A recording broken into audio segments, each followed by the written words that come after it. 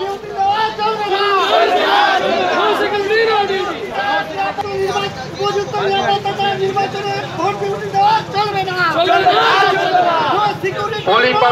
Vote না যাব না। সেন্ট্রাল পাবো না ভোট দিতে যাব না। সিআরপিএফ দেওয়া হবে না কেন নির্বাচন কমিশন? জবাব দাও ভোটে সিআরপিএফ দেওয়া হবে না কেন নির্বাচন কমিশন? জবাব দাও রাজ্য পুলিশ নিরাপত্তা অ্যাটেন্ডেন্স রুমে no kindly security no duty no রুমে কাইন্ডলি সবাই রুমে চলে যান। নির্বাচন কমিশনকে ভাবতে হবে ভাবতে হবে। থেকে কুচবিহার হতে চাই না রাজকুমার। রাজকুমার রাজকুমার। জীবনের মূল্যের দাম কে না সেন্ট্রাল ইলেকশনে চলে যান। জিন্দাবাদ। যেটা রুম নাম্বার লেখা আছে রুমে চলে যান। রুম নাম্বার থেকে রুমে চলে যান সবাইকে বলা হচ্ছে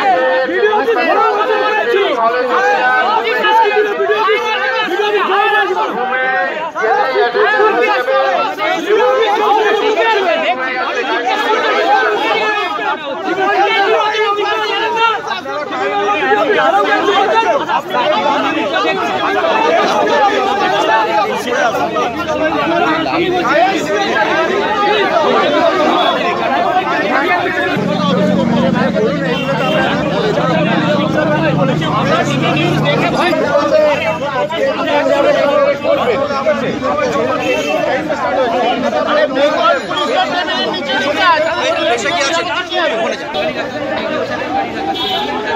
অ্যাটেন্ডেন্স রুমে হচ্ছে।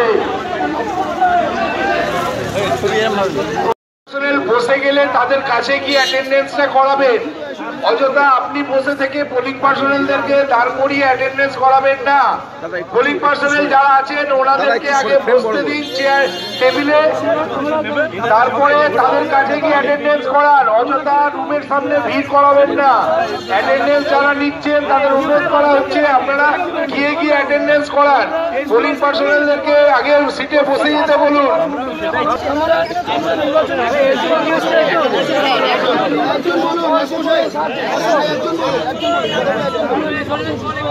সবাই করবে আমরাও সেটাই চাই। নদীরদা ফ্রেমটা একটু বড় করো হাত ঢুকে যাচ্ছে। তুমি তিরিশ নম্বর রুমে চলে যাও অনুপম শাসমল নিরাপত্তা ছাড়া আমরা নির্বাচনে অংশগ্রহণ করব না। গুলি খেয়ে যখন মরবো জেল খেটে মরবো আমাদের দু লক্ষ টাকা মূল্যের পুলিশ পার্সোনালরা দয়া করে রুমে চলে যান। আমরা দু লক্ষ টাকা চাই না। আমরা টাকা চাইছি। বলা হচ্ছে অ্যাটেন্ডেন্স রুমে গাড়ি সোজা রুমে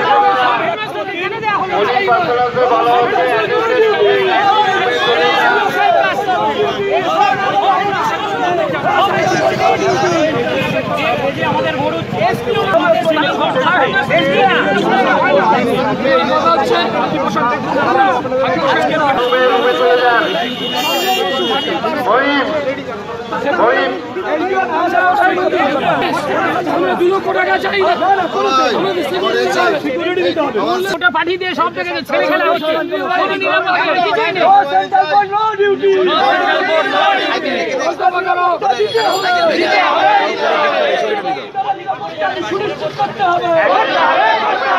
সবাই রুমে চলে যান যা জিজ্ঞেস করে সেখানে জিজ্ঞেস করে নেবেন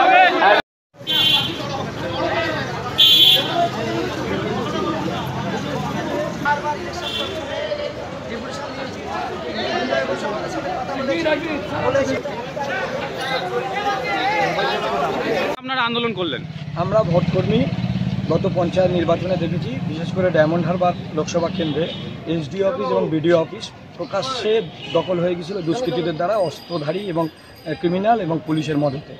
এবং কোনো বিরোধী দল নমিনেশন দিতে পারে না, একতরফা ভোট হয়েছে। এবং সেই জায়গায় ভোটকর্মী হিসেবে আমরা অত্যন্ত আশঙ্কিত, গোটা রাজ্যের ভোটকর্মীরা বিক্ষোভ করছে। আমরা ভোট কর্মী হিসাবে ভোটে যেতে চাই পর্যাপ্ত কেন্দ্রীয় বাহিনী নিরাপত্তা দিই এই জন্য আমরা আজকে দাবি তুলেছি no CRPF no duty Rajkumar রায়কে হত্যা হতে হয়েছে আর বিশেষ করে এটা ভাইপোর এলাকা। কারণ এখন পর্যন্ত যা পরিস্থিতি তাতে কোনো জায়গায় বিরোধীদের কোনো কার্যক্রম করা যাচ্ছে না বাক স্বাধীনতা নেই। এবং গত পঞ্চায়েতে আমাদের চোখের সামনে হয়েছে বিডিও অফিস অস্ত্র নিয়ে বোমবাজি এবং একশো জনের ওপর বেশি মানুষ খুন হয়ে গেছে। সুতরাং আমরা পরিবার নিয়ে বা ডিউটি করতে চাই। পরিবার আছে আমাদের, রাজকুমারকে হত্যা হতে হয়েছিল। সেই জায়গায় আমরা কেন্দ্রীয় নির্বাচন কমিশনকে দৃষ্টি আকর্ষণ করছি। ভোট কেন্দ্রে এসে আমরা আজকের ট্রেনিং বয়কট করেছি। তার কারণ হলো, পর্যাপ্ত কেন্দ্রীয় বাহিনী না দিলে আমরা ভোটে নিরাপত্তা ইয়ে ডিউটি করতে যাব না। এসডিও সাহেব এলেন, উনি আশ্বস্ত করেছেন, লিখিত ডেপুটেশন দিতে বলেছেন। আমরা লিখিত ডেপুটেশন ওনাকে দেব। কিন্তু তারপরেও আমরা বলছি সরকারকে, আমরা ডিসিআর পর্যন্ত যাব। গিয়ে যদি দেখি আমরা নিরাপত্তা কেন্দ্রীয় বাহিনী না পাই তাহলে কিন্তু আমরা ডিসিআর থেকে আমাদের ভোট গ্রহণ কেন্দ্র পর্যন্ত নিয়ে যেতে পারবে না। আপনার নাম মহিদুল ইসলাম শিক্ষক ঐক্য মুক্তমঞ্চের রাজ্য সম্পাদক।